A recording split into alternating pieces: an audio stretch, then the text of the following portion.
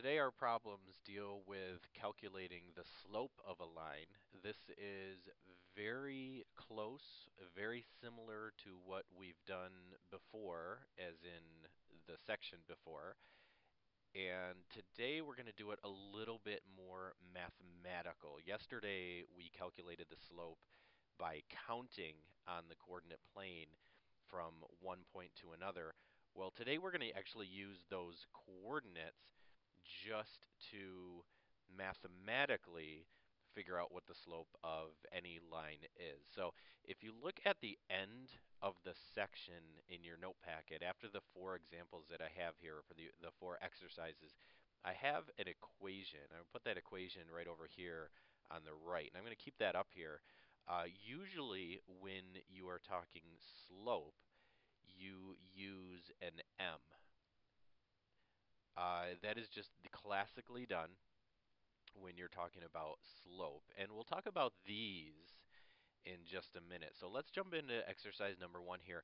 We want to find the slope of this line. All right? And just like I did the other day, we're going to take actual points off of this line. So I want to look for some points that cross right at where you know two grid lines come together so I can get a good coordinate to work with, okay?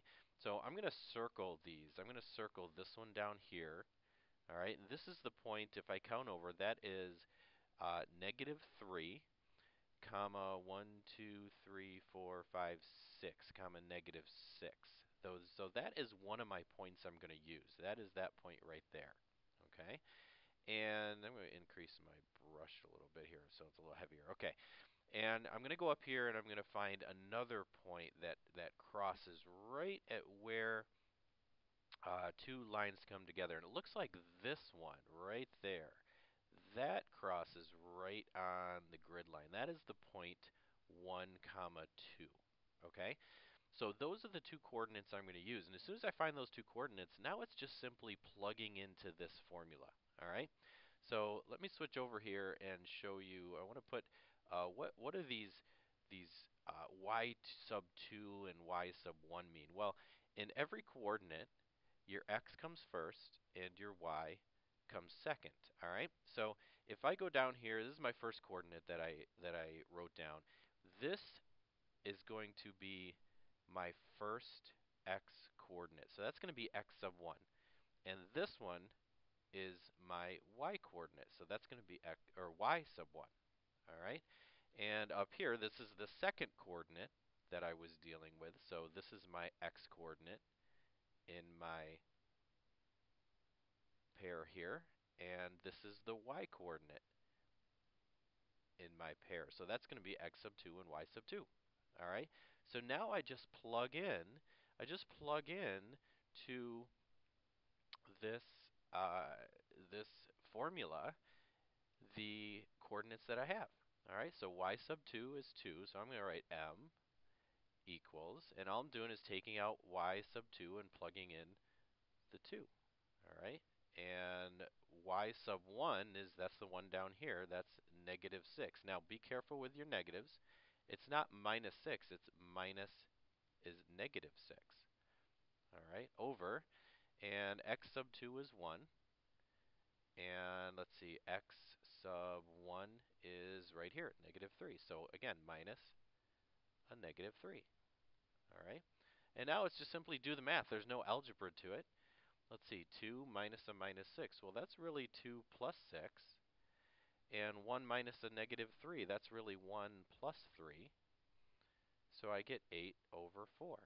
And if I can reduce it, reduce it. Sure, that's 2 over 1. All right, and a lot of times I, I, I, leave the slope as a fraction. So you can leave it as 2 over 1 or you can leave it as, as a 2. Okay, so there's my slope of my line. Again, I just picked two points. There are two coordinates that are right on the line, right where these, uh, these grid lines cross. And I use those coordinates and I plug it into this equation up here. And really, that's it.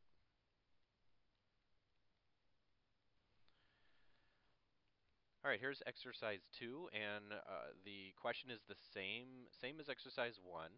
Uh, they want us to calculate the slope of this line. So I'm going to find some points that are on the line. And it looks like this one right here. I like to use this one because this has a zero in it. And I like dealing with zeros because those are usually easy to deal with. So that point right there, if I count over, that is negative 4 comma 0. There's one of the points I'm going to use. All right, and I'm going to go over here, and it looks like, looks like to me, this one right here is right on the line as well. That is, let's see, 1, 2, 3, 4, 5, 6, 7. 1, 2, 3, 4. That's the point 7 comma 4. All right, so those are my two coordinates I'm going to use.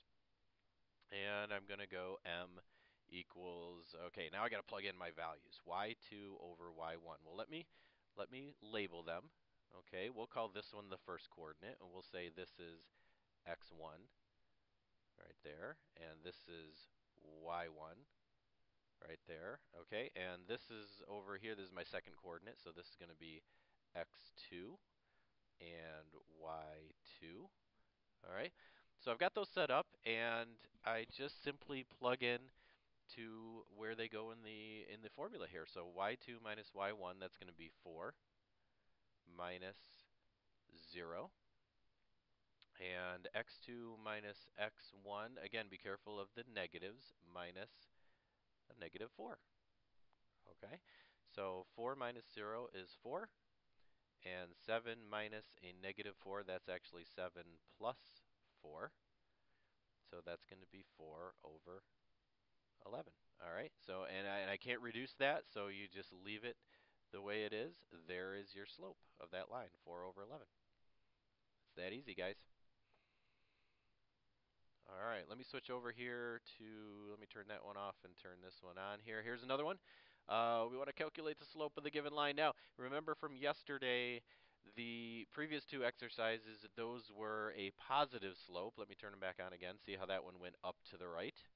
So that was a positive slope, and that one went up to the right. That was a positive slope, if you look back at what we figured out here. Now this one, this one goes down to the right, so I should get a negative number. If you don't get a negative number, you have done something wrong here. So let's find our points. Okay, I'm going to go with this point right there. That seems to be the point negative 3, 5. That is negative 3 comma 5. Okay, I'm going to write that down there. And let's pick one over here. Looks like that one looks very good. That is the point 1, 2, 3, 4, 5. 1, 2, 3, 4, 5. Huh. Over 5. And then down 5. So I've got a bunch of 5s going on. That's okay. So we're going to plug it into the formula. M equals, and again, I'll, I'll label them for you. Okay, this is going to be x1. And this is going to be y1. This is going to be x2 and this is y2. Alrighty, and switch back to blue. And what do we have? We have y2, that's going to be negative 5, minus y1, which is 5. x2 is 5, and y1 is a negative 3. Alright, and now I just have to do the math. Negative 5 minus 5, that's going to give me a negative 10. And 5 minus a negative 3, that's actually 5 plus 3 and 5 plus 3 is 8. All right. Now I can reduce that. I'm going to reduce that, and a negative divided by a positive is a negative, so I'm going to write it like that. Uh, 5 over 4, and there is my slope for that one. Okay, so again, it went down to the right, so I was supposed to end up with a negative, and I did. I got a negative 5 over 4. All right, let me turn that one off, and let's turn this next one on here. Oh, now this one is different. It doesn't go up to the right. It doesn't go down to the right. Well, let's see what happens when we figure out slope for this one. Uh, let's pick, I'm going to pick a point here. I'm going to pick that one right there. That is the point 2 comma 0. And, whoa, no, not 2 comma 0. No, that's 2 comma 3. Uh -oh, take that off. All right, that's 2 comma 3. And how about I take this one right here? That is the point 1, 2, 3, 4, 5, 6, 7, comma 3. Okay, so easy enough. Let's plug them in. All right. right, and uh, again, I'll label them for you. Here's x1, y1, and here's x2 and y2. All right. So let's plug them into the formula, and looks like the y's are the same, so that makes it very easy. That's just 3 minus 3 up there. And the x's, those that's going to be 7 minus 2. And, well, 3 minus 3 is 0. 7 minus 2 is 5. And, huh, well, that that's pretty easy. 0 minus, or 0 divided by 5, 0 divided by anything is 0, unless you're doing 0 divided by 0. We'll talk about that at another time. But 0 divided by 5 is just 0, so the slope of this line is 0. And if you remember, if you remember uh, back, a while back, we had the uh, horizontal and vertical lines, right? This is definitely a horizontal line, okay? And any horizontal line, I want you to jot this down on your your note packet here, any horizontal line, you actually don't even have to calculate the slope because any horizontal line, the slope equals zero. Okay, that will always, always, always, always, always, always, always be true.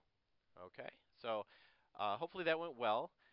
Really, it is about using, uh, let me turn this back on here so I can write up there. It is really about using this formula over and over and over and over and over.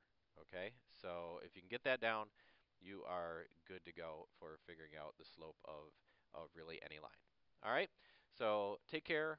Thanks for watching. We'll see you tomorrow.